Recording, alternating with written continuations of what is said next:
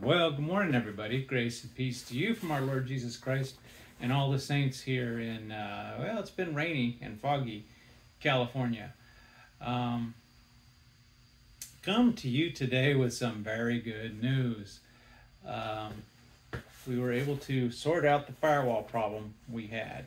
And yes, it was a firewall problem, sort of, but we don't know why it was a firewall problem.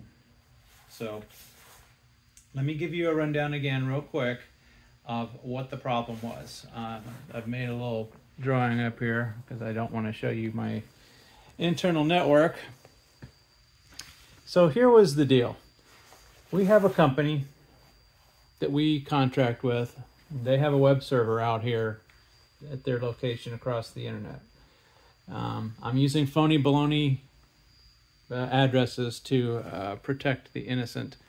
Um, Yes, I know that's in the Google's namespace, but it's something I could pick out real quick. So not an actual IP, well, it probably is, but it's not their actual IP address. Um, so our users, which, uh, you know, I didn't draw that. I probably should. Anyway, our users hang off the core, our core network here somewhere in our, in our network. They're in here somewhere. So they go to this web server out here to get there, they go through our fire, firewall, across a VPN tunnel, and to them. That was working no problem. They could get to that web page. Now, to log into that web page, they had to uh, enter their user credentials um, from our network, basically. So this guy would come back across the tunnel to this LDAP server over here and try to authenticate the users. That was what was not happening. So if I get on this server here, I could ping their server, no problem. I could do a trace route. It got there within a few hops. got there within four hops. So go one, two, three, four. That's the hops it took. And you kind of have to understand a little bit about how our, our network works, the way we do things. So we have everybody's dumped into buckets called VRFs. We got a users VRF, servers VRF, uh, IoT, VoIP, and server something. Oh, I can't remember what it is. We got five of them anyway, and one's a test. Um, so this guy is in the servers VRF. So to get anywhere, that's not he can talk to anything else in the server's VRF no problem. So he can talk server to server, doesn't have to go through any kind of routing, whatever. If he does, um, he doesn't know how to get there. So he goes back to the core, and the core says, Well, I don't know how to get there either. So it sends it to this firewall. Um, we call this our segmentation firewall. So this this firewall here does all the um, inter VRF routing. So to get from the server's VRF to the user's VRF or users to servers, you got to come through this firewall here. And that's all he does is route traffic from one VRF to the next and then looks for nasties and malware and that kind of stuff. Um, so, okay, he gets here, no problem. He says, I don't know where that is. I'm going to route you out to the internet. So, goes out here to the firewall, this guy says, Oh, I know where you live. I send you out here. So that's how the routing works. So here's the weird thing when these guys would ping back to this server, uh, they might get a reply, they might not. When they would do a trace route, it would trace, it would, the trace route would work. It'd get about to hop 12, and then it would show up this guy. But then the trace route would continue and just do timeouts. Well, if you got here, why are you continuing? So, and that was from their perspective. That was from uh, when they uh, did a trace route from their web server. That's the results they were getting. We did a trace route back to them, no problem.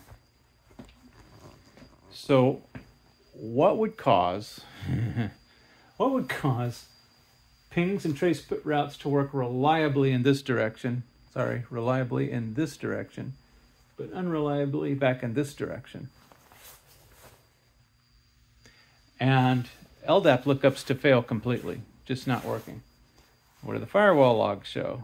Firewall logs show traffic coming from them being allowed by this firewall and passing through this firewall and getting to this. We would see the traffic getting there, but then it just wouldn't go back. We we we couldn't find it back here. We couldn't. Find, why couldn't? But but when we ping from there, it goes right through the. Right now, it works. Oh my goodness, what a mess. So uh, okay, I figured. All right, we we had we had all kinds of helpful suggestions. Everything from let me set you guys down so you're not like right in my face. There you go. This is live, folks. Live and unscripted. And I need a better tripod. Um, and I will get one probably because he, uh, YouTube's, I guess, letting me actually make money off of this. So sorry, sorry about this, this uh, brief interlude here. Just shows you, it's all unscripted, folks. It's all off the cuff. So anyway, back to what I was talking about. Uh, so what would what would cause this?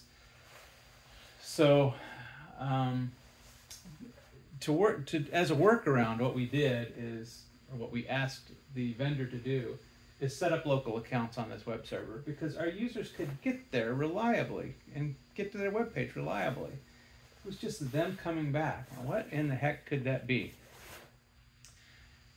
So I started. Um, all right, yeah, we had every every suggestion from asymmetric routing to um, yeah, what was the other one? Oh, the yeah, the, the woman from from the network admin gal from this company just kept saying, "You've got a server problem. You've got a server problem." Every time we've seen this, it's a server problem. It was not a server problem. Um, asymmetric routing, kind of, but not really. Um, routing problem, definitely, but not in my core. Not with this firewall, not with the server. There was a routing problem, and it was being caused by our edge firewall, and I'll explain. So we we when you set up rules, especially for people coming in, um, these guys have the same internal um, IP address space as we do. Um, we use a 10 network. Everybody in the world, you know, large corporations will use 10 dot whatever on their internal networks and then use network address tr- translations when, once they get out to the internet. Um, so we have to set up these things called NAT rules. So here's the, let me fold this up so you don't get ahead of me here. All right, so here, here's our NAT policy. So what we're basically saying is, hey, um, anything that's coming from 8.8.8.8 to 9.9.9.1, okay, 8.8.8.1 is their web server. it's, it's right over there. Um, 9.9.9.1, again, not the actual IP address. Um, this is just a, a, an address we said, okay, when you're coming to our internal LDAP server, point it to this thing. So they, okay, and then they set up a route on their end saying 9.9.9.9, dot not, triple nine dot one, and it's going to point to their VPN tunnel with us. So they know how, they know how to get to this. Once they get to the firewall, we're going to be routing it to this address internally. And this is again just a phony sorry, just a phony address, 10.1.1.20. So route 9.9.9.1 to 10.1.1.20. And, um, and so the way this was set up before was not only with a destination NAT, but with a source NAT. So that my internal network, when it saw traffic coming from this guy, the actual internally it would appear to be coming from 10.1.254.20 rather than 8.8.8.1. Okay. Um, yeah, I, I, I, guess we could have set it up that way. I didn't set this up. Our, our old firewall admin did. Remember, gorgeous network admin boss? Um, she set this up. So, okay. Here's the problem with that 10.1.254.50. Here's where the routing issue comes in. So remember how I talked about the VRFs and to get from the server's VRF to the user's VRF, we have to route through this, this segmentation firewall. The connections between the core and the firewall and the edge firewall, because it's got another one of these ad addresses, and all the VRFs, they're in this 10.1.254 address space. So to when this guy was seeing the Active Directory authentication traffic coming from him, coming through here, it was appearing to come from 10.1.254.20. So when he would send the data back, it would get into the core and the PAN firewall and says, hey, send me to 10.1.254.20 and it didn't know where to send it. I don't know where it was sending it. I never could figure it out. It wasn't sending it back out. Um, so I started thinking, well, maybe I can add a route for you know 10.1.254, like an exception route that'll point it back to here. And I thought, eh, wait, wait, mm, I don't want to mess with the routing to fix one workflow. So what did I do to fix it? Well, let's come back here to the the phony baloney firewall configurations. So you remember we were using a source NAT of, uh, and that's this source NAT was, was is configured right here, and that's the actual value of it. Um, what I did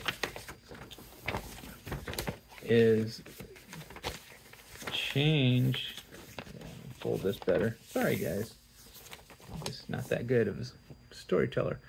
Um, what I basically did was change bleeding through there. Um, I set the uh, trans the source address translation. I basically got rid of it. You know, said nope, nope, we're not going to do any source uh, address translation. Um, I forgot to write it in there, but basically we said just go to you know um, what was it? Just go to 10.1.1.20 which should be right there. Um, so got rid of that. So we went from this, you see that source IP, to this. Is it? Yeah, no source IP. And I really hope that isn't backwards for you guys. It looks backwards to me, but hopefully not. Anyway, so took that out. And then what do you know? we did the packet captures over here, the authentication traffic from them now appeared to be coming from 8.8.8.1. He knows how to get to 8.8.8.1. He didn't know how to get to 10.1.254.20. So, boom, it just started working. Um, authentication traffic would show up from 8.8.8.1. Well, actually, yeah, that's what it was showing up as. He says, okay, um, I'm going to send it back to you. Goes back to my core, says 8.8.8.1. That's not mine. I'm going to send another VRF. Goes to this guy. He says, I don't know where it is. I'm going to send it to the Edge Firewall. Edge Firewall gets it, goes 8.8.8.1. I know where that is. Out it goes out the tunnel. And that is what solved the uh, the crazy issue. Um, how was it ever working in the first place? I don't know. It should not have been. Um, I had a call with the, the head of our county's IT. Um, so we're, we're a county, we're a hospital, we're a county hospital. We're a department within the county, just like the sheriff's department, just like you know any other department in the county. We're, we're a department of the county. And so he's head of IT over the county. Yeah, pretty smart guy And uh, so I was talking to him about it, explaining to him the problem. Now, by this time, mind you, I'd already solved the problem. So um, I made this appointment with him before I had solved the problem and I was pulling my hair out over it. I don't have much hair to pull. Um, so I was talking to him and explaining to him what I found and what I did. And uh, after telling me how messy my firewall was, thank you, Gurjeet, um, he agreed. He said, "There's no way that that could ever have worked."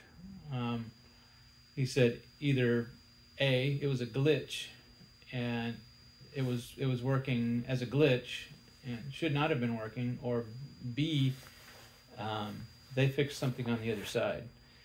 And it's too coincidental. I mean, as soon as I deleted that source NAT out of the network address translation policy, everything started working great.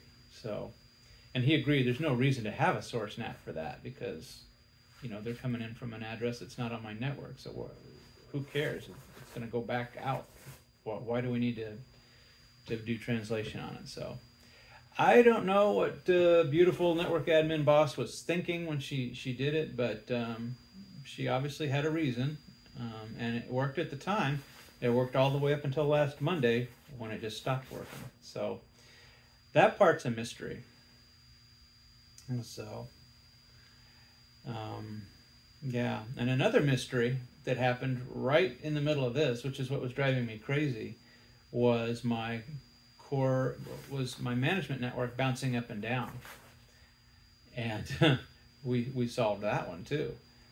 Um, it turns out that one was caused by a loop created by the help desk when they were moving users and furniture around and forgot where things were plugged in and accidentally created a loop.